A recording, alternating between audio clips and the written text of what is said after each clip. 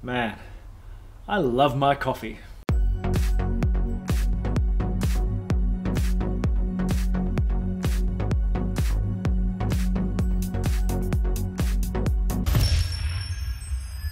Man, I love coffee. But it's not just the taste of coffee that I love, it's the process. It sort of slows me down in the morning. It stops me from racing around. I have to take my time and get the grind just how I like it and use the beans that I prefer most. Sometimes I go with a really strong bean just to kickstart my day, sometimes not so much. And I have to work on the pour so that the pour comes out at just the right level of crema. I'm a bit of a sort of a, a coffee bigot, for lack of a better term. Now, that doesn't mean that everyone should like coffee. There's a mixture of us out there. Some love coffee, some are ambivalent, and some just downright hate it. And that led me on to thinking about some of the feedback that came to me outside of Open World about 18CXE. I'm super pumped about 18CXE, but some people just straight away were jumping into their blogs and their Twitter sphere and saying how they were very unimpressed and they just downright hated it. So I thought, armed with a coffee, I'll talk about some of the things that people said and why I think they're mistaken. Number one was what's the catch? Why are you giving us free software? And admittedly, you could argue that Oracle has a reputation for not giving away free software. I would argue against that. We're active in open source, and obviously, we've had 11g Express Edition out for gee, years and years and years. But those people that have an opinion that the only way we'd give away something for free is there's some sort of hook there uh, are somewhat skeptical when it comes to 18CXE. My view is it's the, really the same as any other kind of offering that software companies do. For example, I do file sharing. In fact, I have an offsite copy of my files that I have for just about everything because I'm a DBA originally by trade, so I'm paranoid about data loss. So I have 10 terabytes of offsite storage that I pay a premium for. Some of my family members also use file sharing facilities and they pay a small amount each month for normally typically between 100 and 200 gigabytes of storage because they don't have the demands that I do. They're probably not as paranoid about data loss as I am because they probably haven't worked in IT, but they still want to copy things like videos and pictures and stuff offsite just in case they get lost.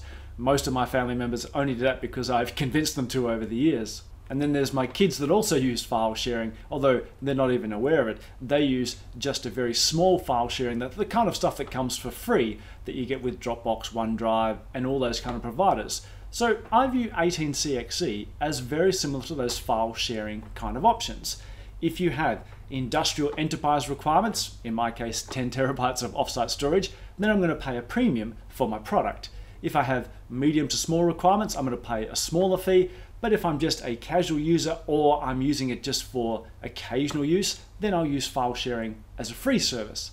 18CXE, no different, except I think it's much more than something that you would use just for casual or just as a small free service. It is 100% free, but you can do some enterprise level stuff with it, in my opinion. Now, it's true, we do restrict the amount of space the database is allowed to consume, and the workload it can do. You're limited to 12 gigabytes, a couple of CPUs, and a couple of gigabytes of RAM. That does not mean you can't run it on a huge machine. It's not the machine we limit, it's just the actual workload and storage that 18CXE will take advantage of. I've done a video before, in fact, I'll put a link in the description above, that shows you just how much work you can get out of 18CXE, even with those restrictions. So, yes, it's restricted, but it's the same way that we have restrictions on storage when we use file sharing. For a free product, you have restrictions, but you can still achieve a hell of a lot of stuff with 18CXE. Number two is that it's some sort of ploy by us to get people to pay more for their existing database licenses. I take a bit of exception to that because one of the things that we did when 18C was first in its infancy, first in the planning stage, was we didn't want to build something that wasn't appealing to the consumer, to you guys out there. So we actually reached out on Twitter. Gerald Venzl put out a poll saying, What do you want to see in 18CXE? In fact, what were your priorities? In fact, you can see the results of the poll here. And that was people wanted all the options available. The days of limiting the amount of download time because of poor internet, etc., are sort of things of the past. People were prepared to have a larger installation media so they could have access to all the features that would normally come with Enterprise Edition in a free product like 18CXE. So this wasn't our idea. this was actually requested by the community. We're trying to serve those needs. We actually put all the options in there such that you can explore them, utilize them, and more importantly, take advantage of them. In particular, the 12 gigabytes of storage limitation, well, throw in compression and you're going to be able to store a lot more than just 12 gigabytes in 18CXE. Number three is that because there are no patches planned for 18CXE, it is useless for any kind of uh, serious database use. I think that's a little bit of a clouding of the truth in the sense that when you look at 11GXE, it was enormously successful for us. Huge numbers of downloads and uses in production environments. I think the concept of patching not being available or not being available as regularly as paid editions of the database isn't necessarily a limiting factor in terms of usage of Express Edition. And I also think there's a little bit of a looseness with the truth when people claim that production is, for lack of a better term, a Boolean, that we have production databases and we have non production databases, and there's no sort of grey area in between. I agree that if you are having a mission critical public internet facing database, then I wouldn't use Express Edition simply because the regularity of security patches will be much, much more frequent for Enterprise Edition than it would be for XE, which would only get effectively the security patches that come with a new release of the database each year. However, there are heaps of production systems that aren't necessarily customer facing. Inside an enterprise, we often have numerous production systems that really serve departmental needs. Sometimes it's as simple as metadata management, other times it's for serious applications that never see the public things that help make the enterprise run and run smoothly.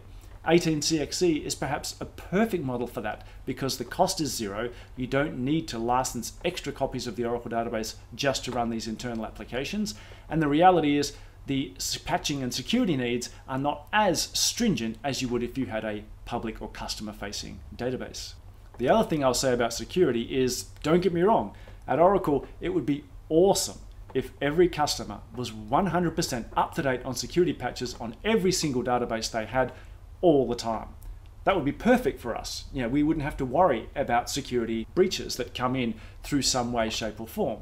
But there's also a business reality. To do so is very challenging. It's one of the things that perhaps appeals about using cloud databases. You absolve that responsibility and you offload it to someone else being responsible for putting all those security patches on and testing them as soon as they're available. In our own enterprises, that's somewhat a tougher proposition. We have to often get the agreement of business representatives, so those times when there might be an outage. We also have to make sure we've got people to do regression testing, should we uh, be applying patches, even though we expect security patches not to actually have any impact. All these things often create delays in the application of security patches, and yet we don't view that as a crisis. So 18CXE is really a special case of that, where the security patches will come, they'll just come on an annual basis when they get rolled into the next version of 18CXE. The last one is perhaps a bit of a fair cop, is that we originally said we would be pushing 18CXE out with all the features, Enterprise Edition plus all the options, and we didn't quite get there. In particular, people were very critical of us because we didn't put the tuning and diagnostic packs in there. That is an unfortunate reality of software development. Our intention was always to put in just about a complete version of the database, the most complete version you could ever think of, straight into 18CXE. But we didn't quite manage it. We still have some logistic issues to work out in terms of getting those extra packs and extra options in there for you. It's our aim, I can't promise anything, but it's certainly our aim to get them there. Even so, without the tuning and diagnostics pack, I still think 18CXE is an amazing offering you get partitioning in memory, advanced compression, a whole heap of other normally extra cost options if you're going for a premium product such as Enterprise Edition. The ability for all those options still to be there in a 100% free product, I still think is pretty awesome. For me, it's back to the daily grind. I don't mean grinding coffee, I mean grinding through Ask Tom. But hopefully that explains better for you why I think 18CXE is still an absolutely game-changing proposition for your enterprise and it's 100% free. Have a good day, everyone.